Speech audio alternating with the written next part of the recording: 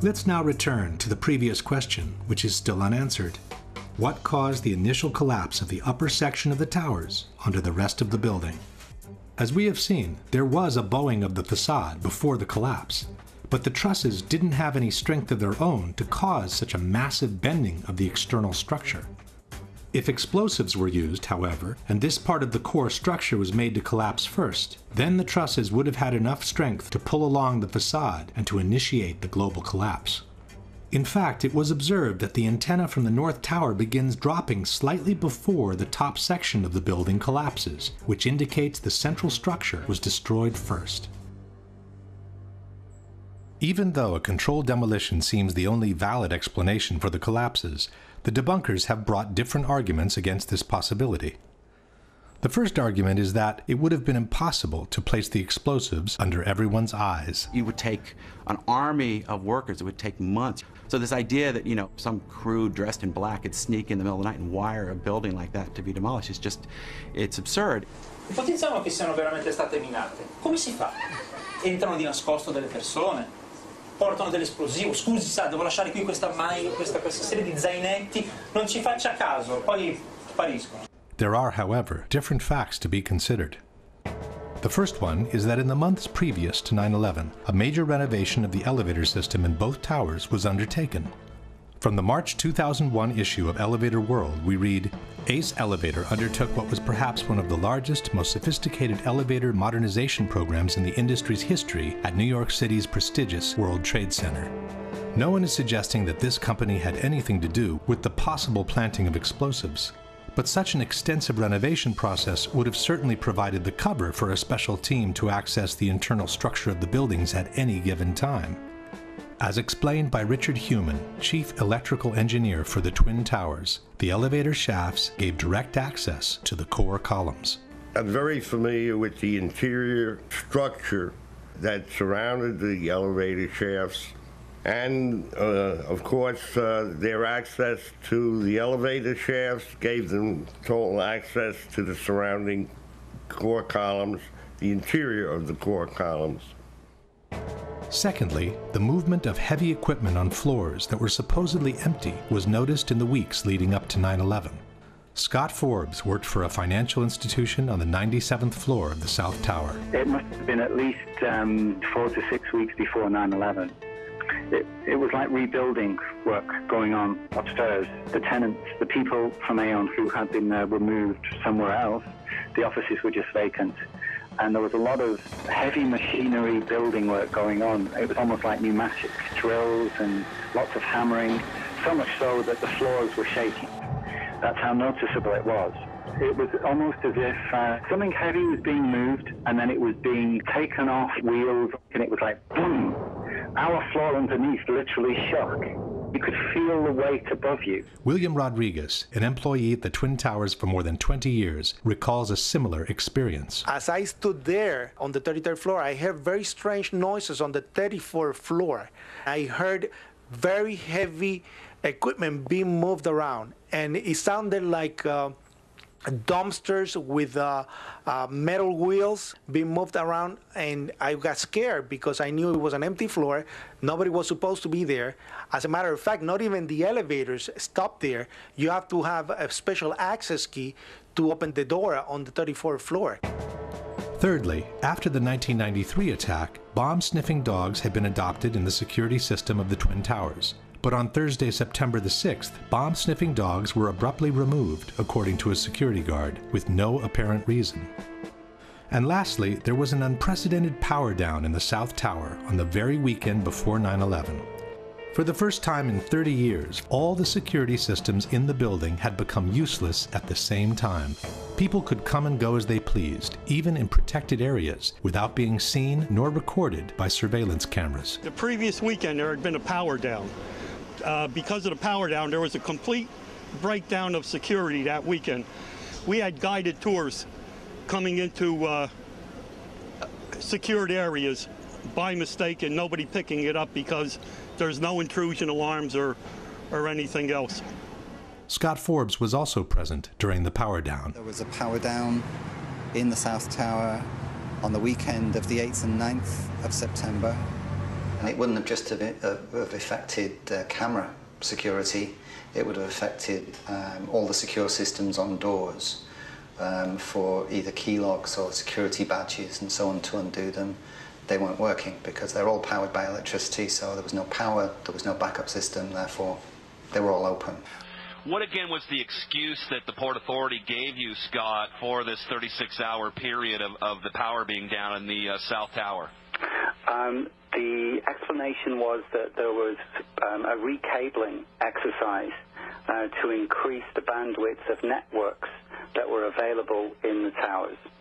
But what I can recall is that there were plenty of toolboxes, there were, there were plenty of spools of cable, there were men around wearing um, overalls. Um, you know, they appeared to be like engineers. Um, at the time, it seemed perfectly legitimate what they were doing because this was the story we were given that there was a recabling exercise. The debunkers are right. It would have been very difficult to bring in the explosives without being noticed. But with the proper cover story, it could have been done under everyone's eyes, in full daylight, without anybody even questioning what was going on. Another argument by the debunkers is that controlled demolitions, they say, always begin from the bottom, while the destruction of the Twin Towers clearly started from the top. Controlled demolitions always begin from the bottom of a building. You cut the bottom columns and then the building falls. If you look at the World Trade Centers, both of them began at the impact wounds where the planes hit. Il crollo da torre parte dall'alto, mentre nelle esplosioni controllate parte sempre dal basso. Si demoliscono le fondamenta, poi si va su e la torre, il palazzo che deve essere demolito crolla subito. But this is not true.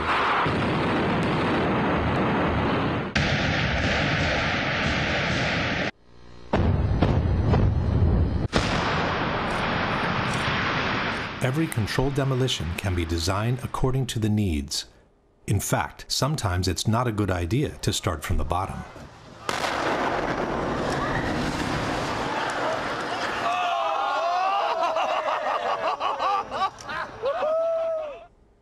This brings us directly to the issue of explosions. In the same interview where he praised the solidity of the Twin Towers, John Skilling stated, I'm not saying that properly applied explosives, shaped explosives of that magnitude, could not do a tremendous amount of damage. I would imagine that if you took the top expert in that type of work and gave him the assignment of bringing these buildings down with explosives, I would bet that he could do it. On September 11, there were dozens and dozens of loud explosions reported by firefighters, policemen, journalists, and regular citizens both before and during the collapse of both towers. For all these explosions, however, the debunkers have a blanket explanation. The witnesses were confused. They were not real explosions. È interessante notare che tutti i testimoni che parlano di esplosioni le hanno sentite, nessuno le ha mai viste. There are things that happened inside the building, pieces coming loose as a result of the extreme impact, very well may have been interpreted as explosion.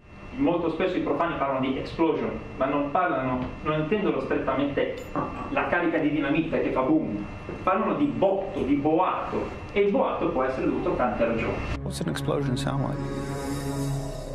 Most people don't know because most people have never heard one. So any sharp, loud bang that's probably an explosion. The fact is, most of the explosions were reported by firefighters and policemen, and no one knows how to recognize an explosion in a burning building better than they do. As we were getting our gear on and making our way to the stairway, there was a uh, heavy-duty explosion. everybody just started running for the door. Everybody was trapped. New York's bravest never had a chance. We really never even got to cl close that close to the building. An explosion blew and it, it knocked everybody over. The whole time you're hearing boom, boom, boom, boom, boom. So I think I know an explosion when I hear it. In August 2005, the New York Times published 12,000 pages of oral histories rendered in the voices of 503 firefighters and emergency personnel who were present at the Trade Center on September 11. Over 100 of them, one fifth of the total, has reported explosions in the buildings prior or during the collapses. Regular citizens also seem quite capable of telling an explosion from a simple object falling to the ground. Something, either they blew the lobby up or, or something, because it blew the glass out of the doors and knocked us all down, and I got uh, smoke and everything on me. I just feel a little shook up because I got blasted, you know. So. Before proceeding, one thing should be known about controlled demolitions. Just like the Twin Towers, most modern buildings are built with a high redundancy factor in terms of structural strength. For this reason, a series of preliminary explosions is normally needed in controlled demolitions to weaken the structure before the actual collapse can be induced.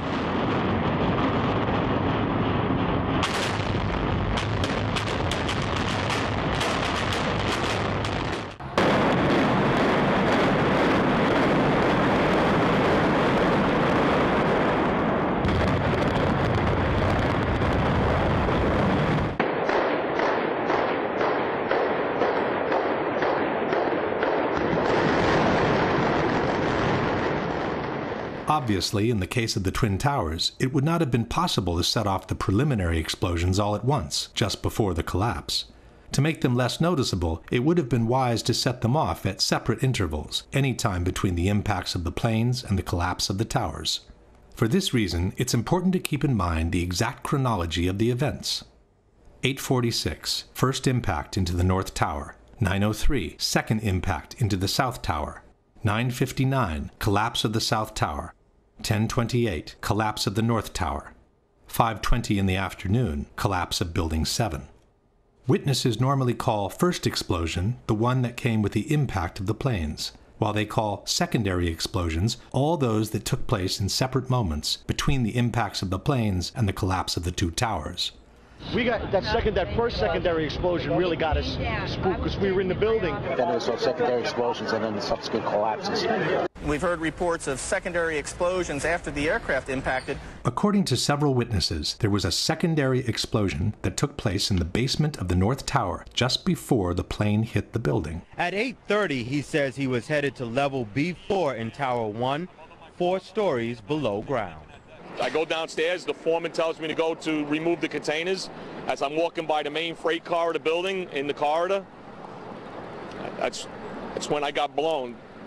I mean, the impact of the explosion, of whatever happened, it threw me to the floor. Morelli then remembers a second explosion, separate from the first. I was racing, I was going towards the bathroom. All of a sudden, I opened the door, I didn't know it was a bathroom, and all of a sudden a big impact happened again and all the ceiling tile was falling down, the light fixtures were falling. According to the 9 11 Commission, it was the jet fuel pouring down the elevator shafts that caused the explosion in the basement. From the final report, we read a jet fuel fireball erupted upon impact and shot down at least one bank of elevators. The fireball exploded onto numerous lower floors, including the B4 level, four stories below the ground.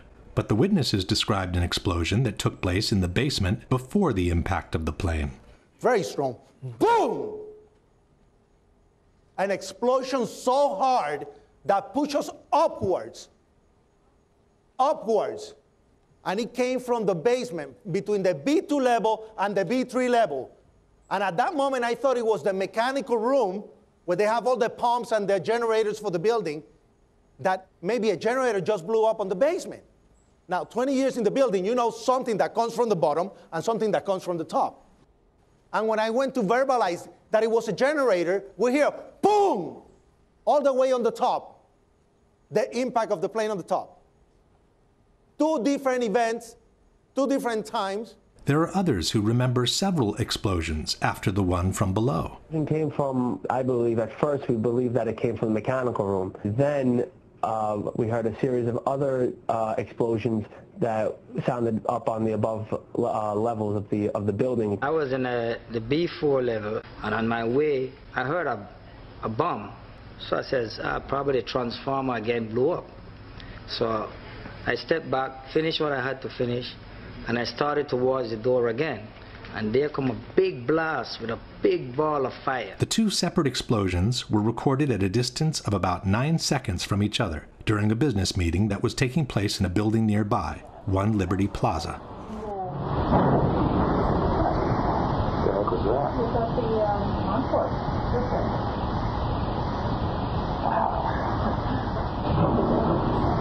Sound like something crashed.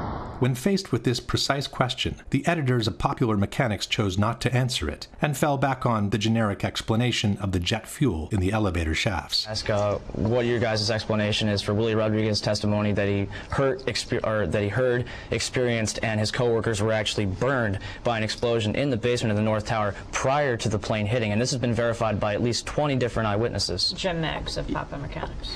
The uh, when the building struck, when the plane struck the buildings, they uh, they penetrated the internal core.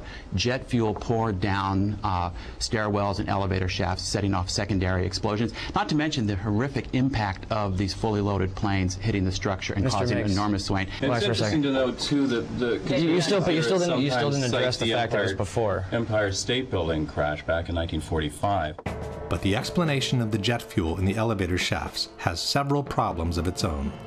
First of all, there were no regular elevators connecting the basement to the top levels of the towers. Each tower consisted of three separate buildings, built on top of one another, each with their own elevator system. There were only two elevators connecting the lobby to the 44th and 78th floor. But the plane struck on the 95th floor, which means the fuel could not have poured down these elevator shafts.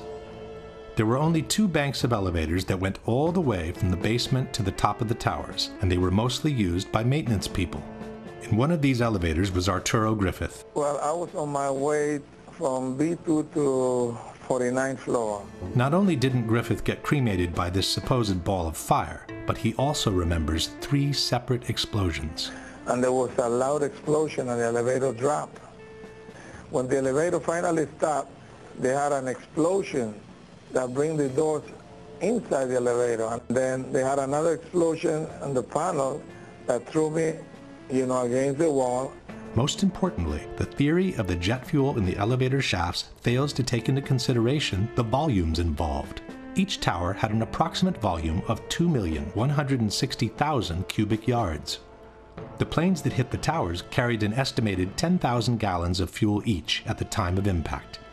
10,000 gallons is the equivalent of 50 cubic yards. This in-scale graphic shows what 50 cubic yards look like next to the volume of the tower. Assuming that about half of the fuel was consumed in the initial explosion, we would be left with some 25 cubic yards of fuel available. But most of this fuel is needed to ignite the fires at different floors, as explained by Mr. Meigs himself. Jets crashed into buildings. They crashed at an angle, which meant that their wings, which is where they store most of their fuel, cut through multiple floors. So they splashed fuel and debris across multiple floors of the building, igniting fires. So even assuming that, for some strange reason, five of those cubic yards were all to end up in the only elevator shaft that goes all the way to the bottom of the tower, there wouldn't be enough to reach the basement in significant quantities. Your typical 10 foot by 30 inch backyard pool contains roughly 1,000 gallons of water, which is the equivalent of 5 cubic yards. Imagine dumping the water from this pool into this kind of elevator shaft with a drop of more than a thousand feet below, and you'll get the idea of how much fuel can actually reach the bottom. In any case, the fuel in the elevator shafts theory could never account for the powerful explosion that literally devastated the lobby of the North Tower one hour after the first impact and before the collapse of the South Tower. There was a secondary explosion, probably a device either planted before or on the aircraft that did not explode until an hour later. Then somebody said that they saw an airliner go into one of those towers. Then, uh, I don't know, an hour later than that, we had that big explosion from much, much lower. I don't know what on earth caused that. In fact, these firemen reported three large explosions in Tower 1, which took place after the plane's impact. They also confirmed it was the third explosion to devastate the lobby of the tower. We was in explosion. We was in the lobby and the, fucking, this, the third explosion, the whole lobby collapsed on us. What you told me is that there was a plane or whatever hit the building, then a secondary explosion. It was like three explosions after that. We came in after the after the fire. We came when the fire was going on already. We was in the staging area inside the building, waiting to go upstairs. Then they, then they exploded. The whole, the whole lobby collapsed on the lobby inside. It took these witnesses about one hour to walk down from the 82nd floor to the lobby of the North Tower after the impact of the plane. We got to the first floor from All the way to the 82nd floor. We stuck on the stairs for a while. We finally got down to the lobby. Then we get to the lobby, it was this big explosion. I don't know. If Like everything went just through. like what you just seen. That's what we went through before we came out of the building. Then when we get out the building, then another smoke cloud came. A similar story here the long descent from Tower 1 and the big explosion in the lobby. It was like holy hell coming down them stairs.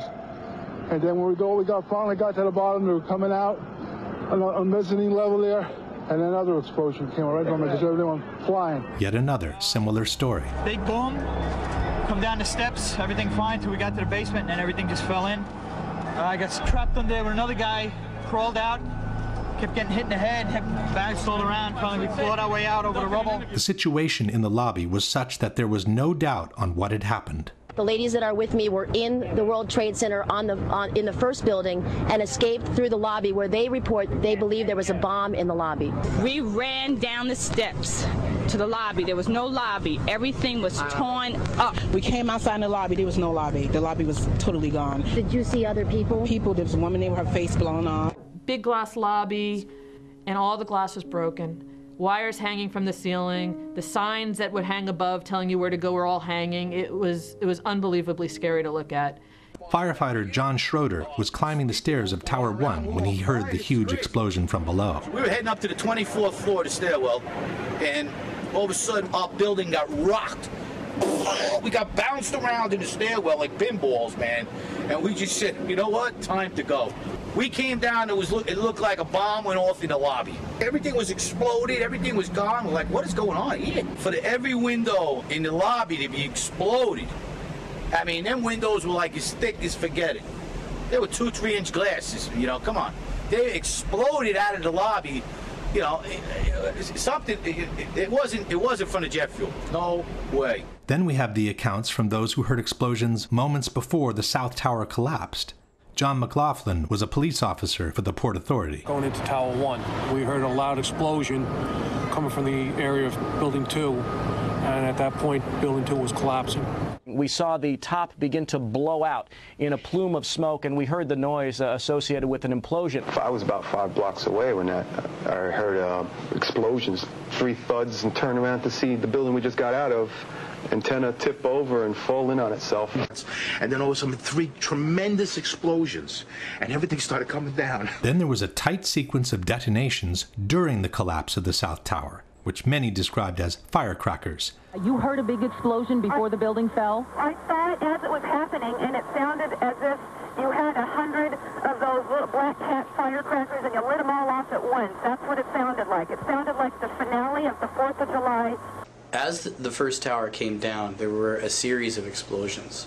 It was like boom, boom. You could hear the echoes of the explosions echoing off the different buildings. The uh, detonation started, and they went boom, boom, boom. They were a little less than a second apart.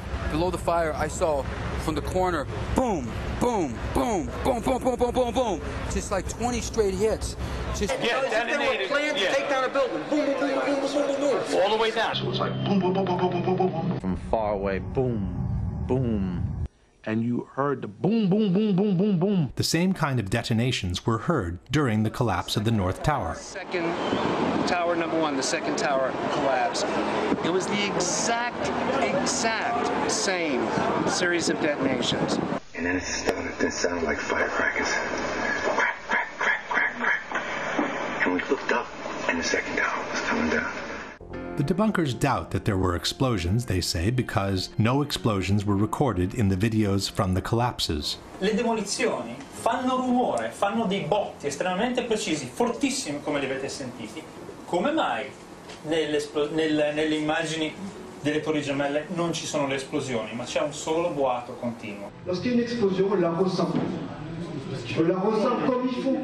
Ça se, ça se, ça se mesure, ça se, on l'enregistre. Aucune bande de son ne les enregistre. Aucune. First of all, the debunkers forget that most of the television shots were taken from a distance with long telephoto lenses, and they don't carry the actual sound from the towers.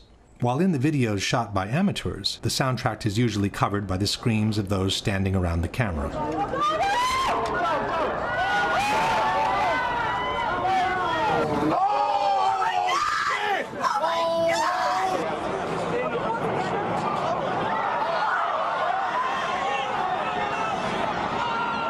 In any case, it's not true that no explosions were recorded by video cameras.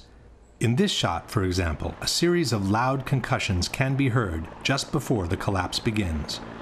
On the left, covered by smoke, is the South Tower moments before the collapse.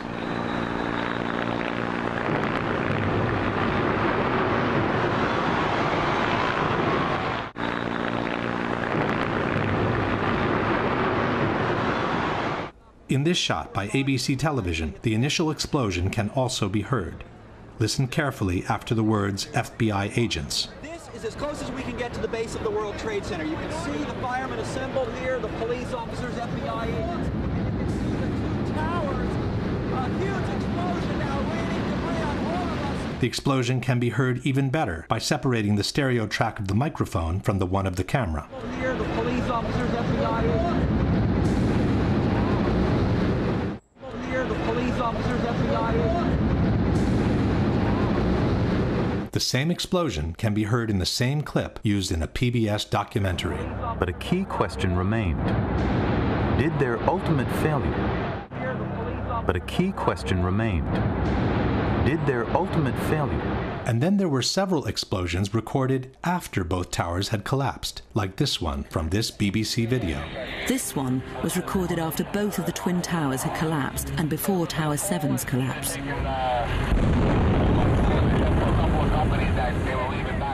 Amateurs also kept recording explosions after the collapse of both towers. It's now 11 o'clock. Still hear continuing explosions, but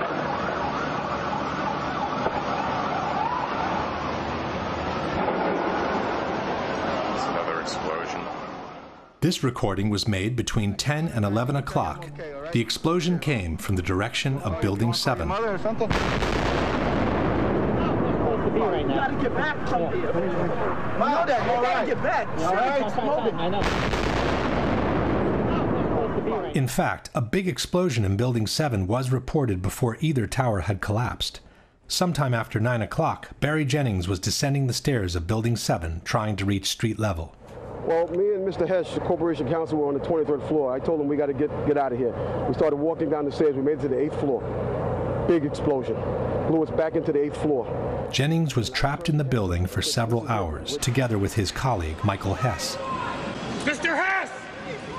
Eighth floor. Eighth floor, seven World Trade. I passed the word. After they were rescued by the fire department, Mr. Hess confirmed the big explosion on the eighth floor. So, Mr. Hess, you were trapped in, I believe, 7 World Trade Center. Go ahead, sir.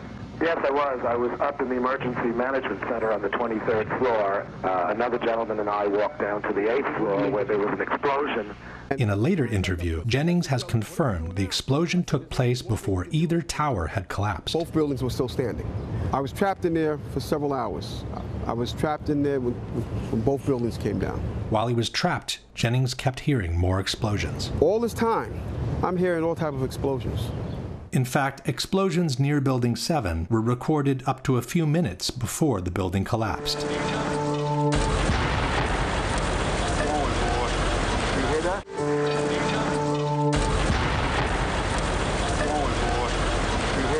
And finally, there is also someone who saw an explosion up close, through his very eyes. It's Ron DiFrancesco, the same person who had descended from the 91st floor of the South Tower all the way to the lobby. When he was exiting the building, he heard an explosion. He spun around, and a fireball was coming down the hallway at him. He put his arms up, blew him across Church Street. He woke up in the hospital two days later. Yeah, I had burns, they say, on 80% of my body, and um, I had a broken bone in my back, and um, I guess my ears were turned inside out just with the burns. My head was very swollen.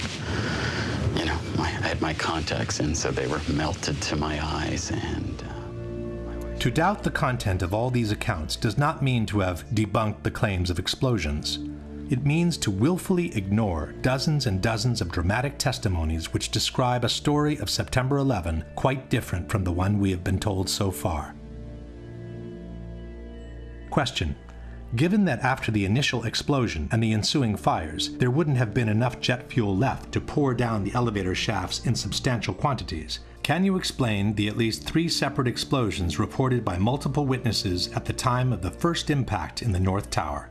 In particular, can you explain the huge explosion reported by multiple witnesses in the basement of the North Tower moments before the impact of the plane?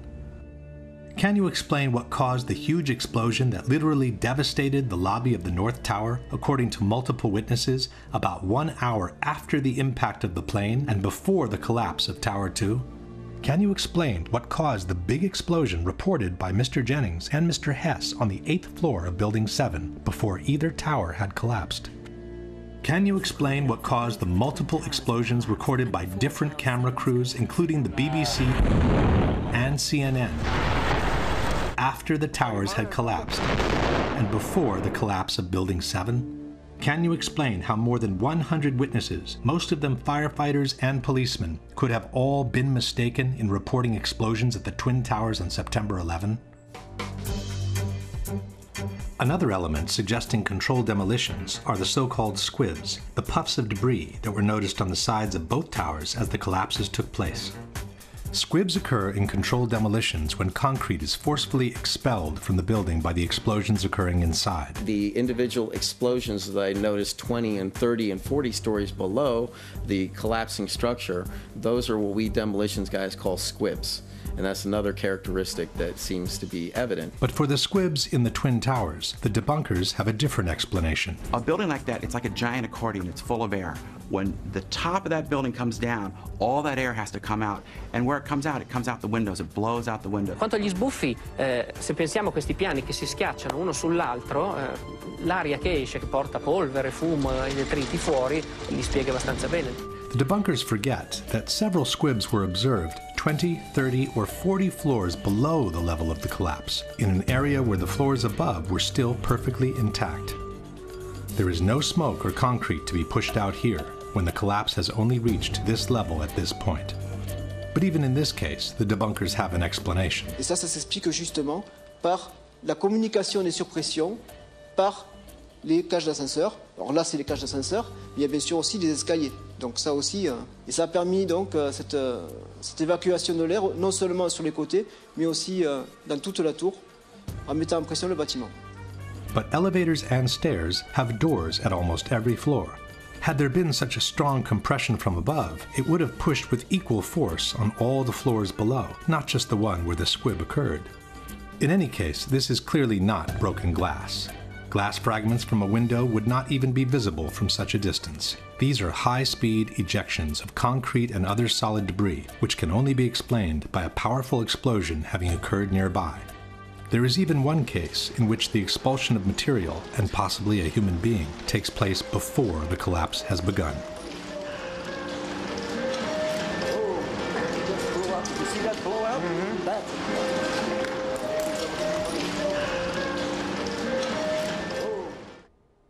Question. Given that what we see is clearly not glass from a broken window, but concrete and other debris, can you explain what caused the squibs observed 30 or 40 floors below the level of collapse?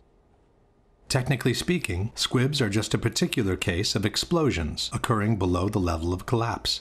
But powerful ejections of concrete and other material have been observed throughout the entire collapse of both towers.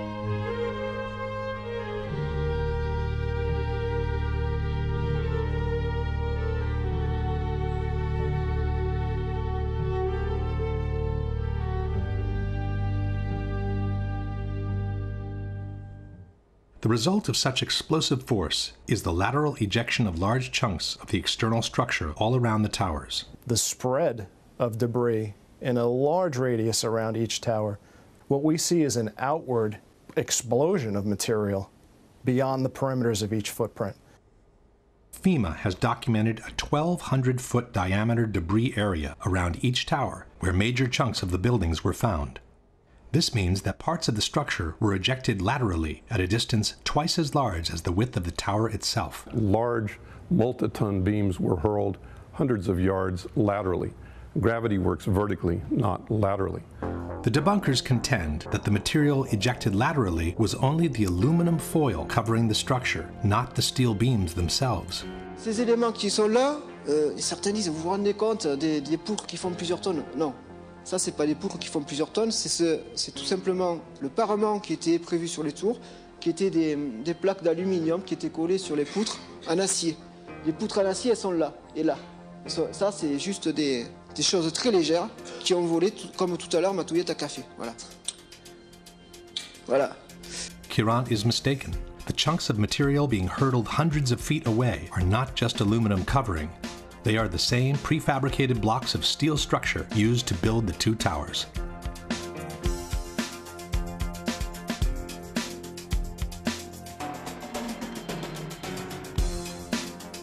In this case, a person who has remained attached to a block of columns falling can give us an idea of the structural pieces being detached from the building. Several large chunks of structure ended up embedded in buildings nearby. David Chandler of Architects and Engineers has calculated the energy needed to hurtle some of these chunks of structure to such a distance from the buildings. Using special software, we can analyze motion on video clips frame by frame. I have placed markers on each frame so we can track a particular projectile. From the markers, we can get a data table and plot various graphs. The data here shows that the object we were tracking was shot horizontally at over 70 miles per hour. The energy needed to hurl a 4-ton girder at this speed is comparable to the energy needed to hurl a 200-pound cannonball 3 miles.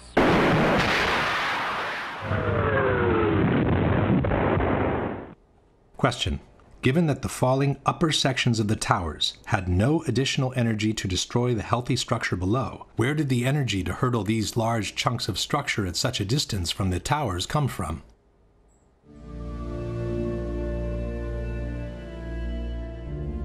Once the smoke had settled and the recovery work commenced, more evidence pointing at controlled demolitions started to emerge.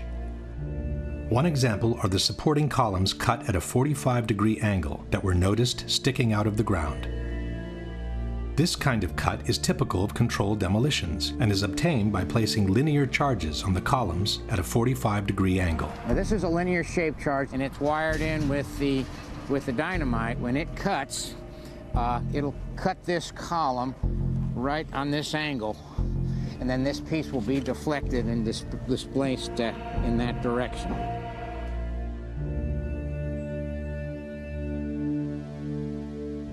Some of those cuts on the larger chunks of the structure, called candlesticks, were made by ironworkers during the removal operations.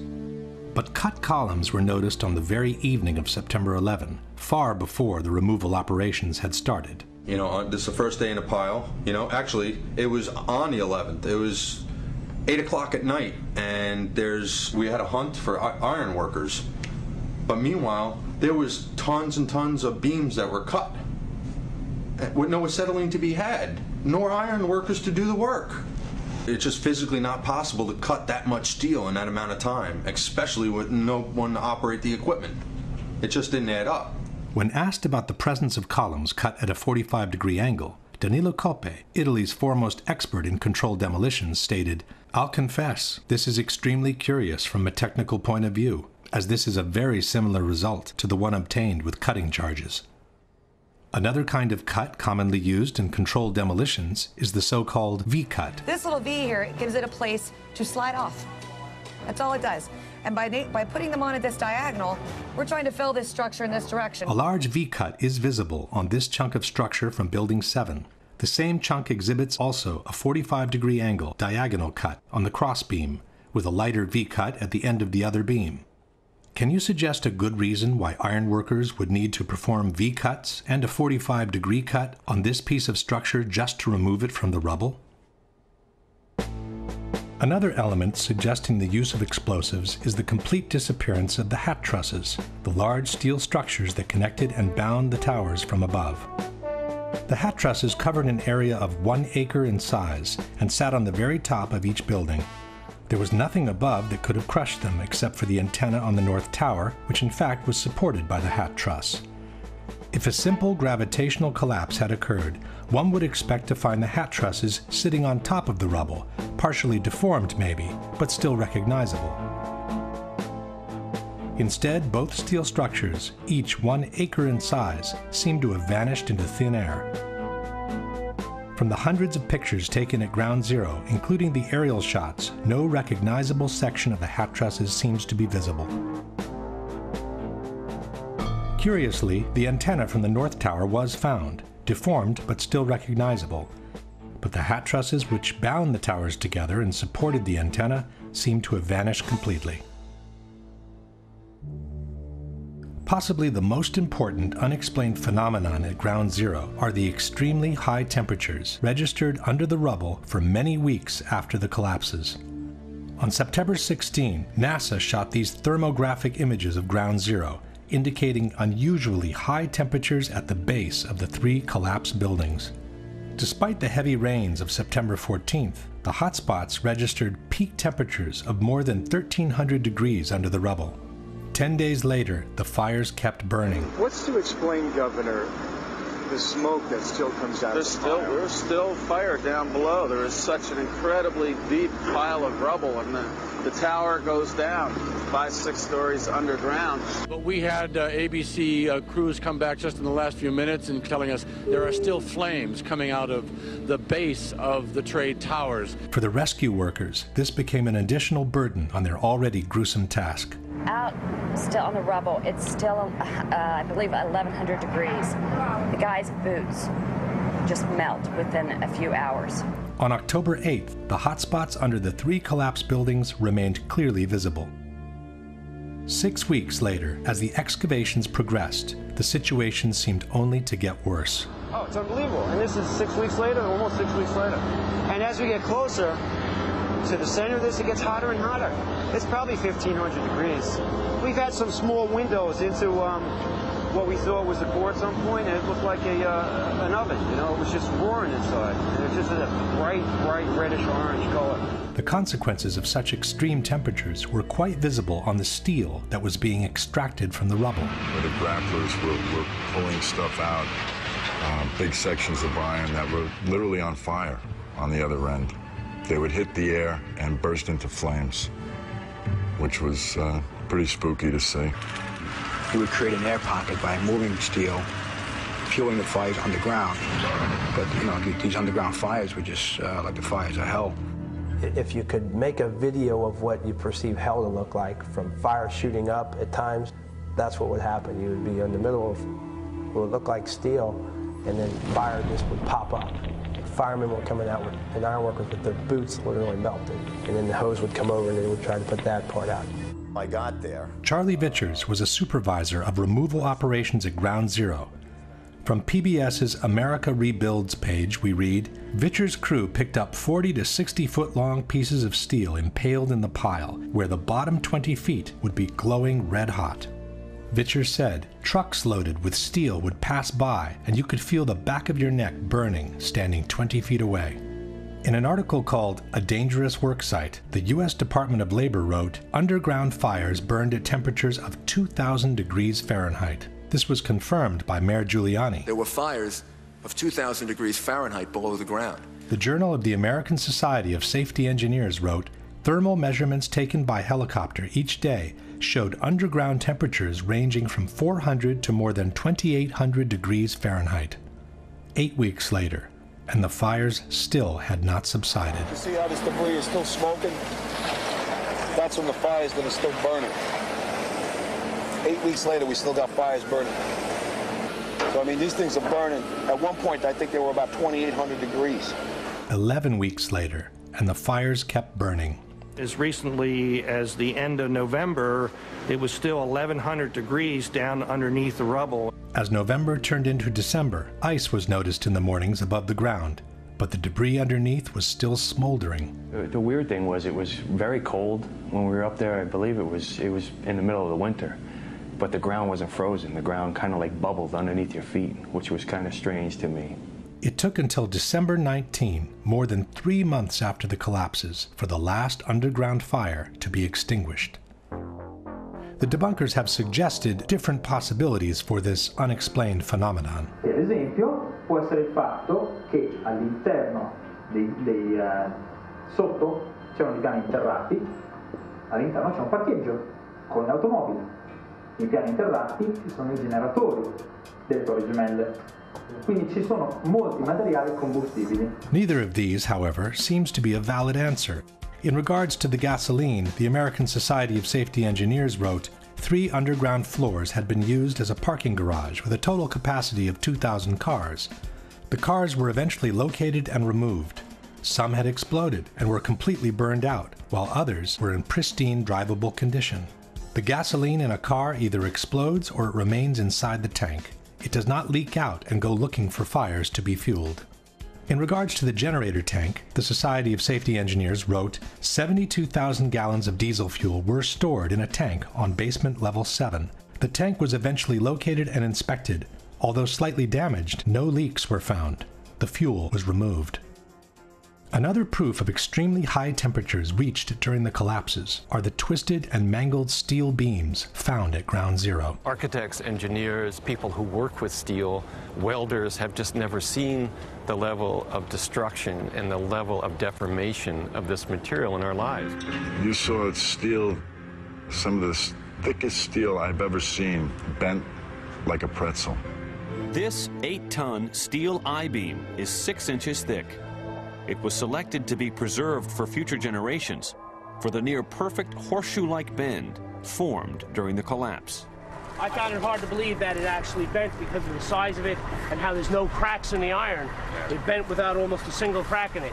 It takes thousands of degrees to bend steel like this. In fact, the temperature of 2800 degrees mentioned before is not casual at all, as that's exactly the temperature at which steel melts and molten steel was repeatedly found under the rubble at ground zero. You'd Get down below and you'd see molten steel, molten steel running down the channel rails, like you're in a foundry.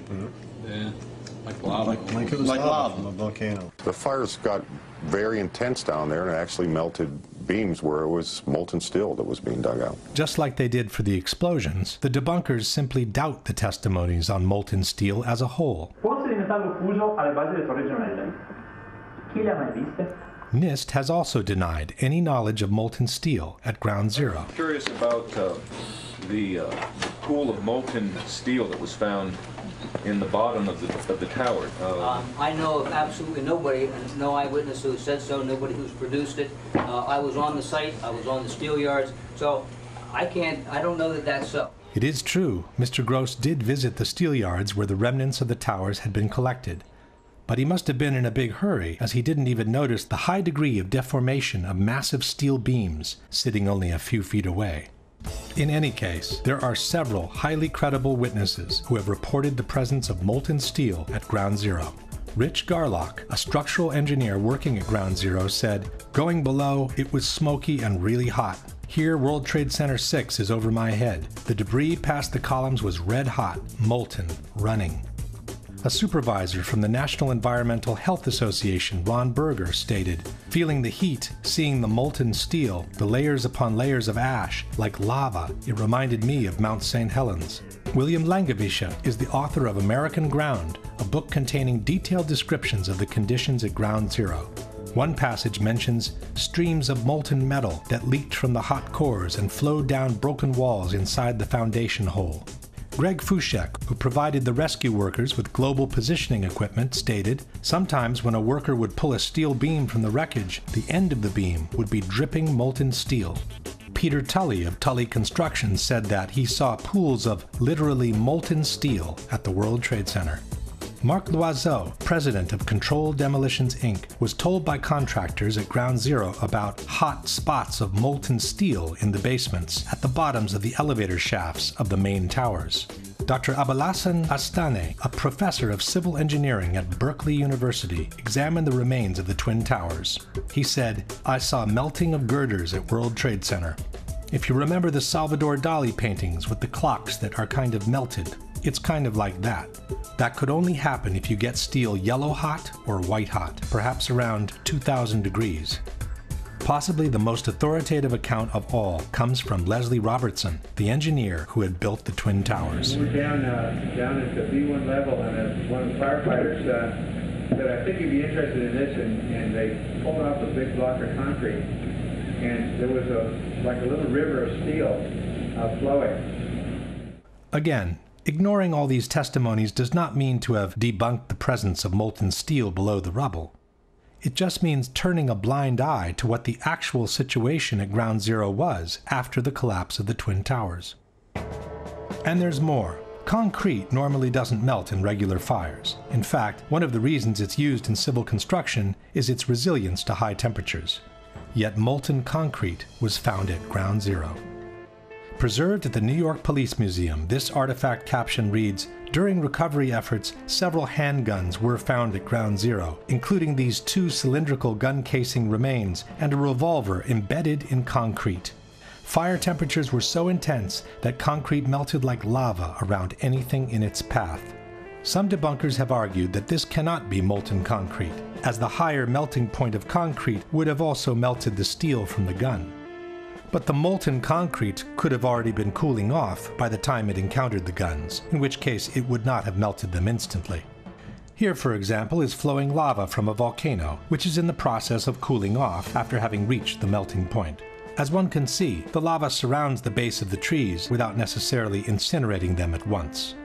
In a hangar near Kennedy Airport sits another artifact attesting to the extreme temperatures reached during the collapses.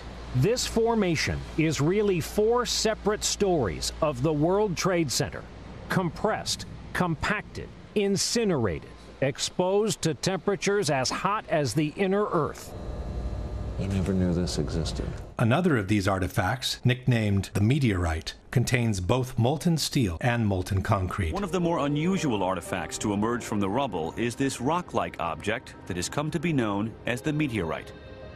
It's this fused element of, of steel, mo molten steel and concrete and all of these things all fused by the heat into one single element. As we know, for concrete to melt, a temperature of several thousand degrees is needed, and the result will be much the same as the lava that comes out of volcanoes. And almost like a chunk of lava from Kilauea or Iceland, where they're very sharp but, but breakable shards on the end here.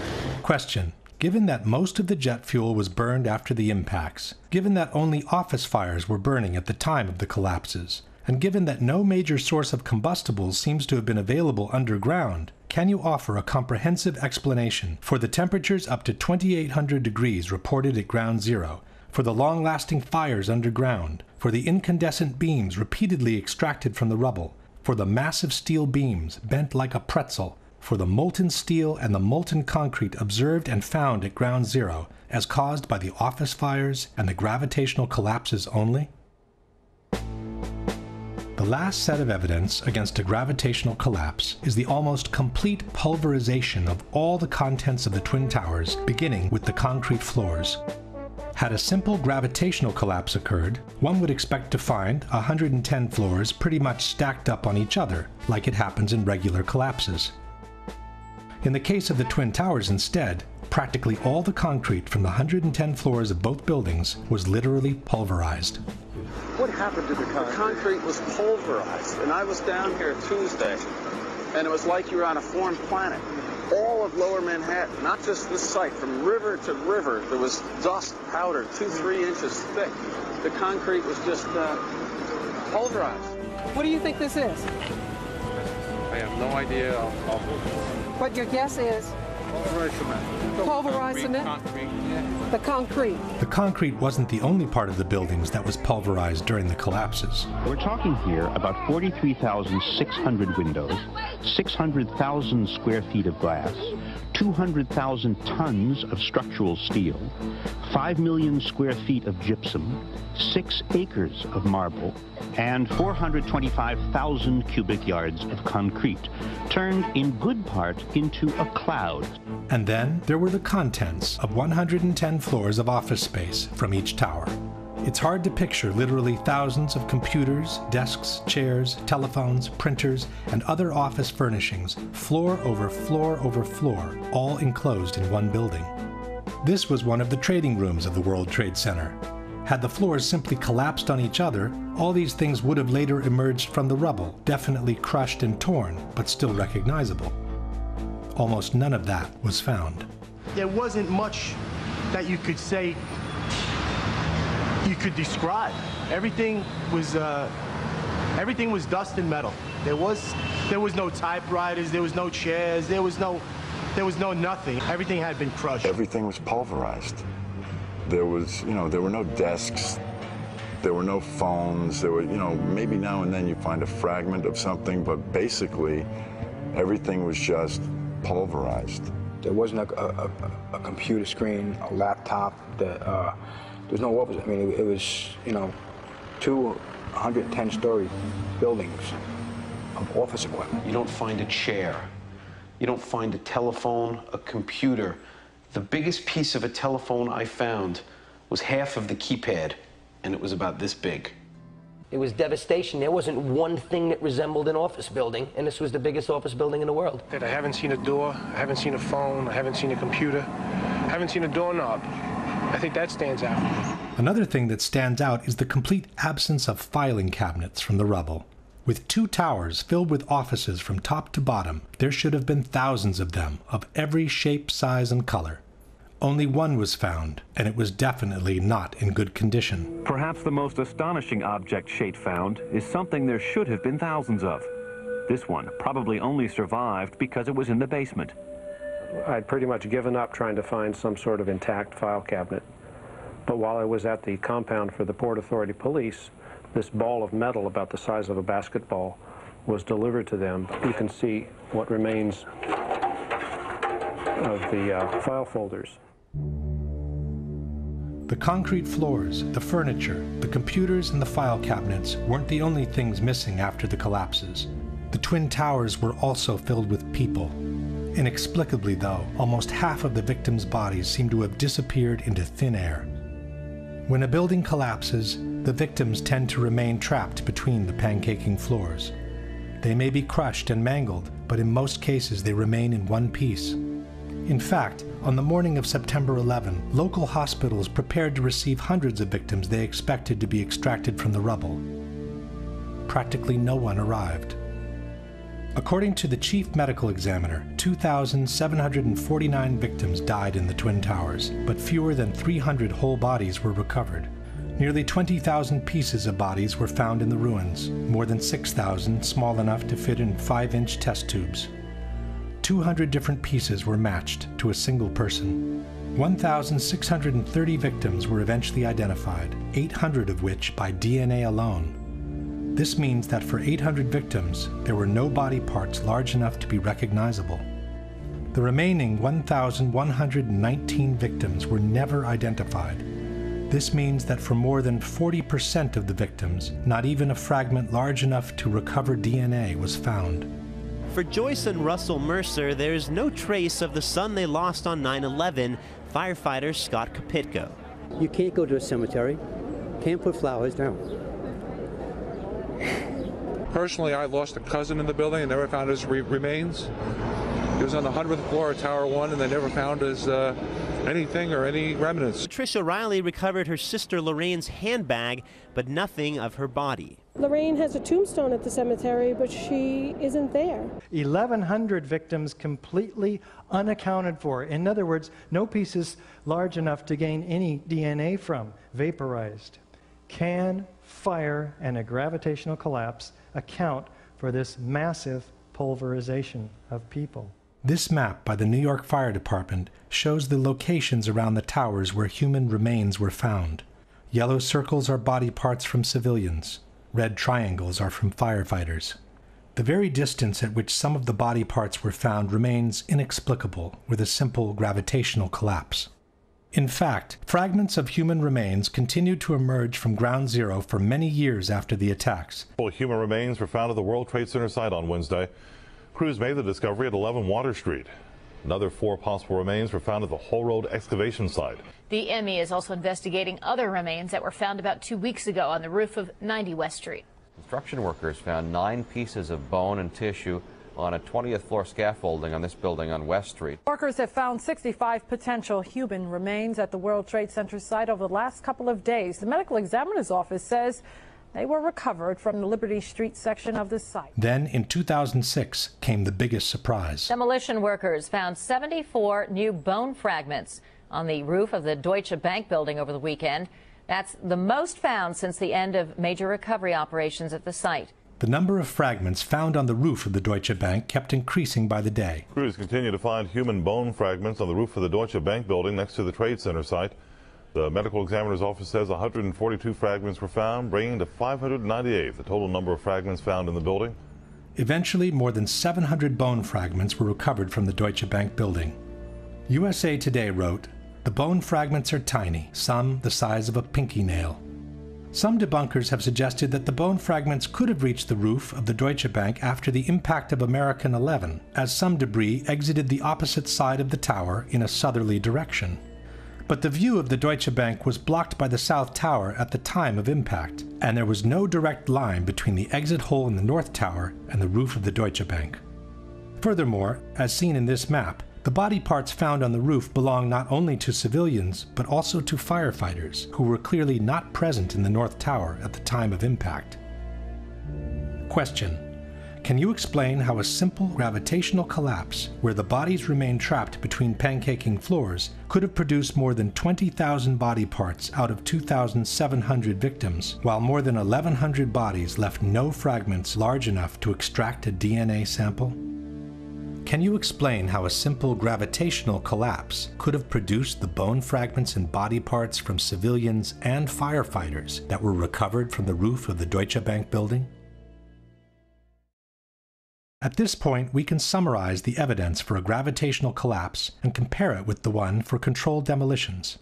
The official explanation for the initial collapse, or sagging trusses theory, is fundamentally flawed for at least three reasons. There is no evidence that the fireproofing was widely dislodged from the steel trusses, no evidence for temperatures high enough to seriously weaken the steel, and no valid explanation on how the trusses could have pulled and broken the external structure on their own.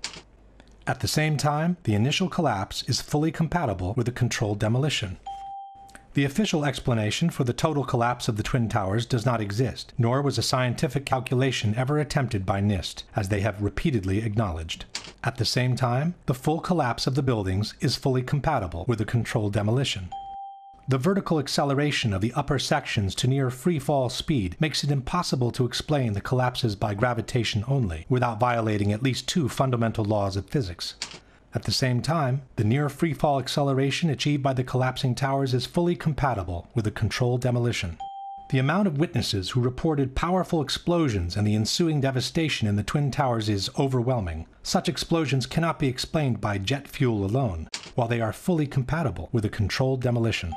The squibs observed 30 and 40 floors below the level of collapse cannot be explained by the air pressure in a gravitational collapse. At the same time, squibs are the typical signature of controlled demolitions. Not all the diagonal cuts and V-cuts observed on the columns at ground zero can be explained by the removal operations. At the same time, these kind of cuts are another typical signature of controlled demolitions. The large area of debris around the towers, with the lateral ejection of elements weighing several tons, cannot be explained by a gravitational collapse. At the same time, these ejections are fully compatible with the use of powerful explosives. The long-lasting fires, the extreme temperatures under the rubble, the incandescent beams extracted during the cleanup, the high degree of deformation of massive steel beams, the molten steel and molten concrete observed and found at ground zero cannot be explained by jet fuel alone, nor by regular office fires. Highly effective destructive devices capable of developing extremely high temperatures must have been used as part of a controlled demolition. The almost complete pulverization of the contents of both towers, from the concrete floors to the office furnishings to the actual vaporization of victims' bodies, cannot be explained by a simple gravitational collapse. At the same time, these results are fully compatible with the presence of powerful explosives, such as those used in controlled demolitions. Unless a comprehensive, scientifically sound explanation for all the phenomena observed is presented, the only conclusion available is that the Twin Towers were brought down by some form of controlled demolition. After they published their report on the Twin Towers, NIST moved on to tackle the collapse of Building 7. What they faced was no easy task. Contrary to the Twin Towers, Building 7 had not been hit by an airplane. It was only partially damaged by the collapse of the North Tower, and it suffered fires that were anything but devastating. Nothing could have suggested it was going to collapse. On the other hand, it looked like the perfect controlled demolition. It featured the sudden onset of the collapse, the rapid acceleration towards the ground, the symmetrical descent of the structure, and it even appeared to have started the collapse from the bottom, as most controlled demolitions do. Professionals in the field of controlled demolitions, such as Dutchman Danny Jowenko, seem to have no doubt on what had happened. Dit is controlled demolition. Zeker weten. Zeker weten. Er is nagesprongen. Dit is in opdracht gebeurd. Dit heeft een team gedaan van experts. We weten heel goed wat ze doen, die jongens. Zie je vanaf boven gaan? Nee, je gaat vanaf onder. Die gaat vanaf onder, ja. Toch? Ja. Ze hebben gewoon kolommen weggeblazen. Er is nagesprongen. Similar comments were made by TV anchors watching the replay of the collapse. It's reminiscent of those pictures we've all seen too much on television before when a building was deliberately destroyed by well placed dynamite to knock it down. In spite of what seemed obvious to everyone, NIST came up with an absolute historical first. New York City, 2001. No tall building had ever collapsed primarily due to fire. But that's exactly what investigators believe happened to the 47 story World Trade Center Building 7 on September 11th. World Trade Center 7 collapsed because of fires. We really have a new kind of progressive collapse that we have discovered here, which is a fire induced progressive collapse. According to NIST, the collapse was triggered by the failure of one specific column, number 79, located in the northeastern section of the building. So you look at the uh, floors failing here, and eventually this column 79 is going to buckle, it fails, and then the entire vertical progression takes place. NIST blamed thermal expansion as the phenomenon that caused the collapse, which was also an absolute first in history. Our study has identified thermal expansion as a new phenomenon that can cause the collapse of a structure. For the first time, we have shown that fire can induce a progressive collapse. Coming from such a reputable organization, these kinds of statements should have sent shockwaves through the architectural world. What they're telling us is that our existing building codes, to which thousands of skyscrapers are currently designed, there's a serious problem. If NIST's findings were true, hundreds of skyscrapers from all over the world would suddenly be in danger of a collapse due to fire. This should have called for the immediate suspension of all high rise constructions, widespread verifications in all existing skyscrapers, and a serious revision of fire codes and safety regulations for the new ones to be built. None of that has happened.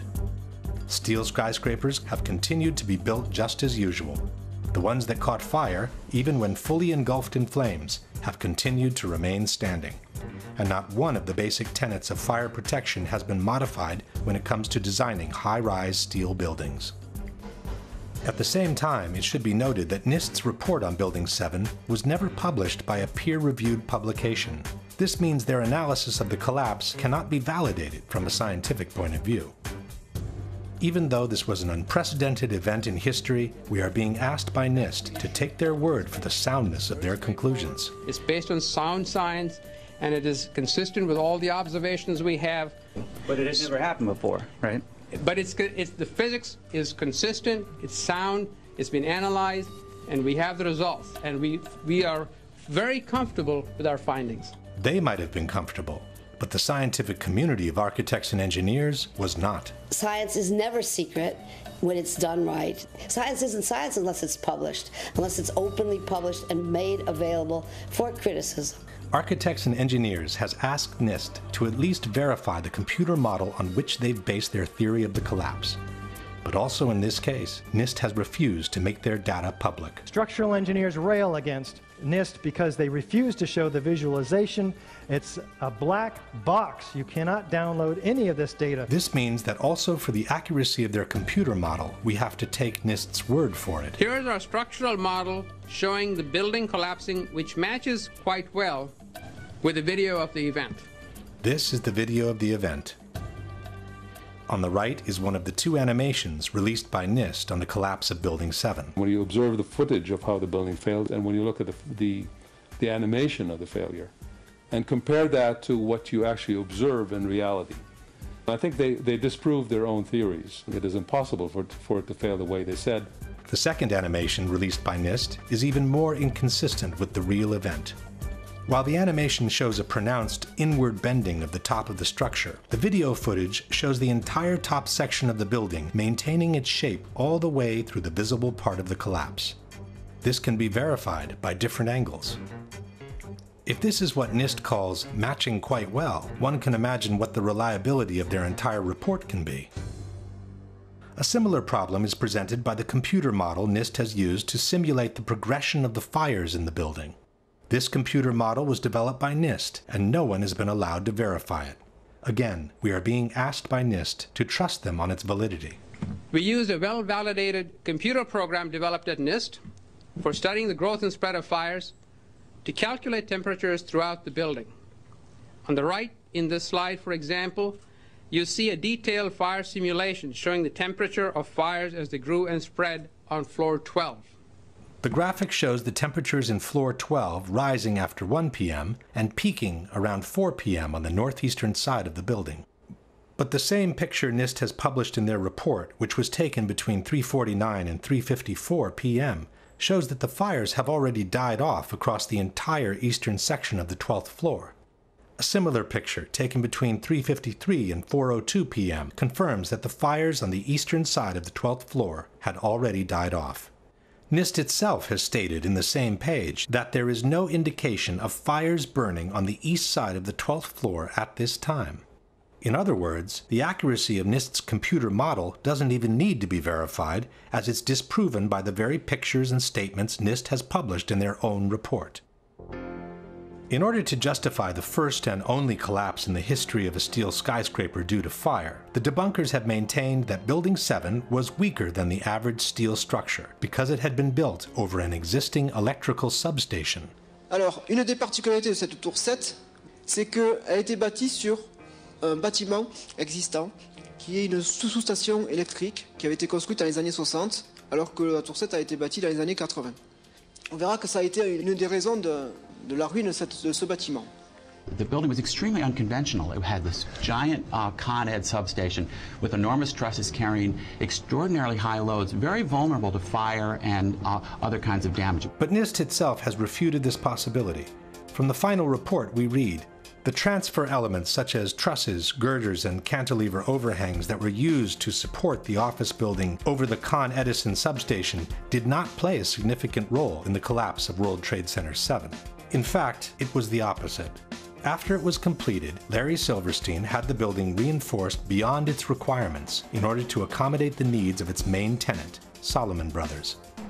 From this 1989 New York Times article, we read Salomon Brothers intends to spend nearly two years and more than $200 million cutting out floors, adding elevators, reinforcing steel girders, upgrading power supplies, and making other improvements in its million square feet of space.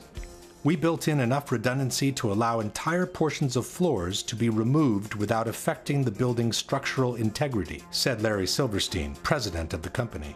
More than 375 tons of steel, requiring 12 miles of welding, will be installed to reinforce floors for Salomon's extra equipment.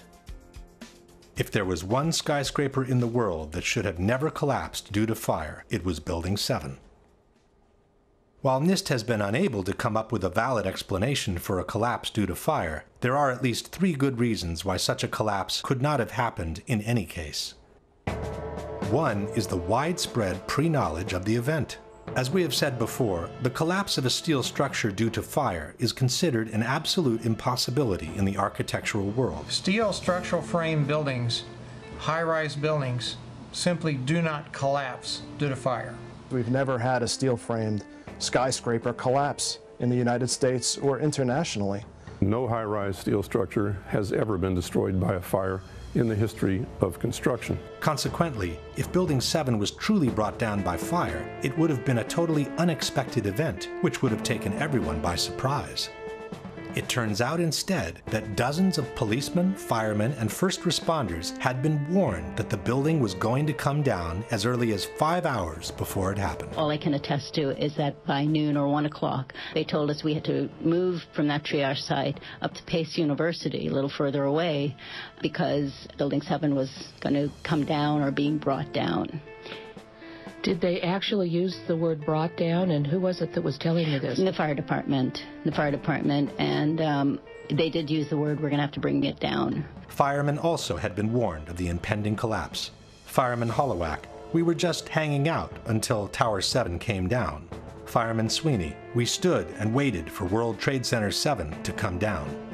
By 4 p.m., CNN had already picked up the rumor and was spreading it around the world. We are getting information now that one of the other buildings, Building 7, in the World Trade Center complex is on fire and has either collapsed or is collapsing. At 5 o'clock, the BBC announced that the building had already collapsed, even though it was still standing in the background. Jane Stanley. Jane, what more can you tell us about the Salomon Brothers building and its collapse? As you can see behind me. At 5 o'clock, Building 7 can clearly be seen on the right of the picture. But the BBC correspondent, who was obviously unfamiliar with the landscape, didn't recognize it. This has fueled ludicrous conspiracy theories, which accuse the mainstream media of having been informed in advance of what was going to happen on September 11. In truth, this incident only confirms that the information on the impending collapse had been circulating long enough in downtown Manhattan to have already reached the BBC even before it happened. At about the same time, when CNN recorded the explosions near Building 7, they also captured the police clearing the area and announcing the collapse.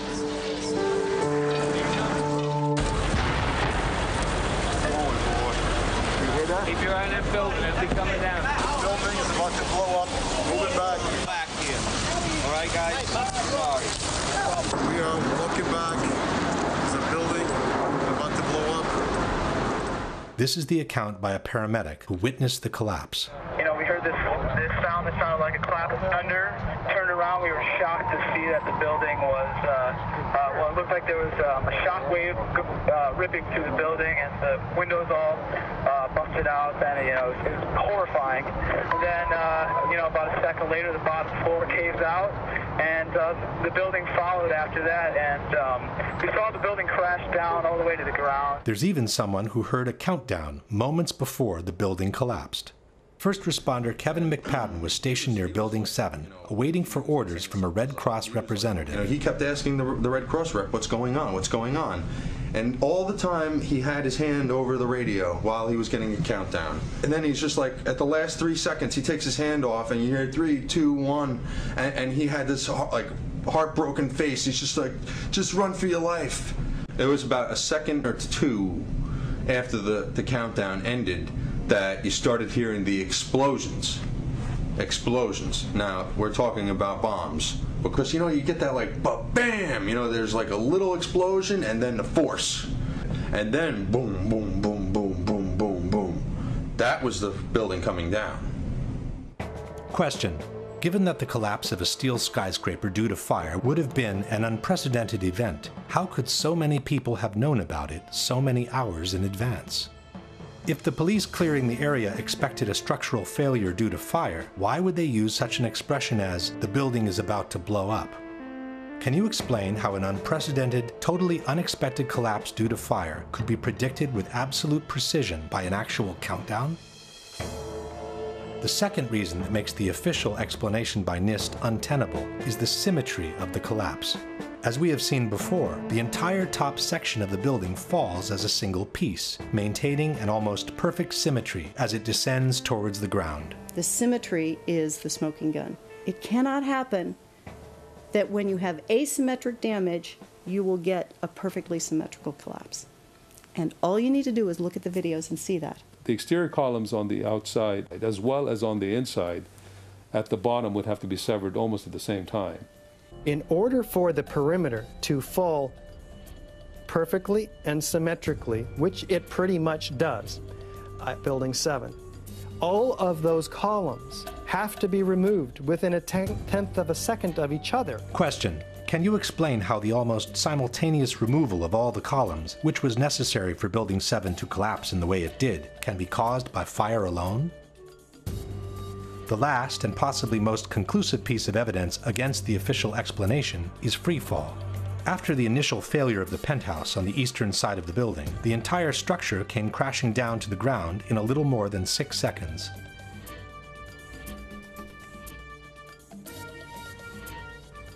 David Chandler of Architects and Engineers has measured the downwards acceleration of the building from the start of the global collapse. You can measure the acceleration of Building 7 by video analysis. The slope of the velocity graph gives the acceleration. Note that global collapse starts suddenly, and for the next 2.5 seconds the building accelerates at the rate of 9.88 meters per second squared. In other words, the rate of collapse of World Trade Center Building 7 over the first 2.5 seconds is literally indistinguishable from free fall in a vacuum. When architects and engineers presented NIST with these calculations, they forced them to correct their preliminary report and acknowledge the free fall of the building for the first eight stories of the collapse. From NIST's final report, we read A more detailed analysis of the descent of the north face found three stages the first was a slow descent with acceleration less than that of gravity that corresponded to the buckling of the exterior columns at the lower floors. The second stage was a free fall descent over approximately 8 stories at gravitational acceleration for approximately 2.25 seconds. 2.25 seconds is more than one third of the global collapse. Once NIST had admitted the free fall for one third of the collapse, the outcome of the debate was sealed. Building 7, uh, they, NIST reports admits fell at the rate of gravity for the first 100 feet.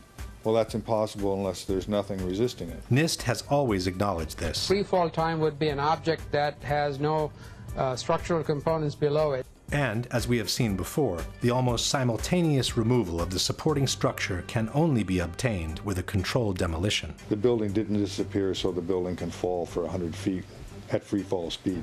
That's impossible. That evidence alone would indicate that the official story doesn't hold water. Question. Can you explain how free fall, which requires the almost simultaneous removal of the supporting structure, can be achieved without a controlled demolition? This very question was posed to Senator John McCain by a 9 11 researcher in April 2013 during a C SPAN broadcast. Uh, Senator McCain, the National Institute of Standards and Technology asserts that the collapse of Building 7 was caused by fire, yet they acknowledge that the first 100 feet of that collapse took place at free fall acceleration. Now, engineers will tell you that fire cannot do this, and that the only method by which it can be accomplished is the use of pre planted explosives. Your question is what? Well, I, yeah, how do you explain this discrepancy of 100 feet of free fall without the use of explosives? Uh, to tell you the truth, this is an area that I am not very familiar, and if you would drop me a note and mention that we talked on C-SPAN, I'd be glad to get you a uh, a more complete answer, but I. Uh, it is unfortunate that Senator McCain could not answer, as he is the person who wrote the foreword to the popular mechanics book, Debunking 9 11 Myths. In the foreword, McCain stated any explanation for 9 11 must start and end with the facts. The evidence must be gathered and analyzed. Then, only then, can conclusions be drawn. But now that the evidence has been gathered and conclusions can be drawn, he claims ignorance on the whole matter. This brings us to the last question, which is not only for the debunkers, but for anyone who cares about freedom, democracy, and an honest government.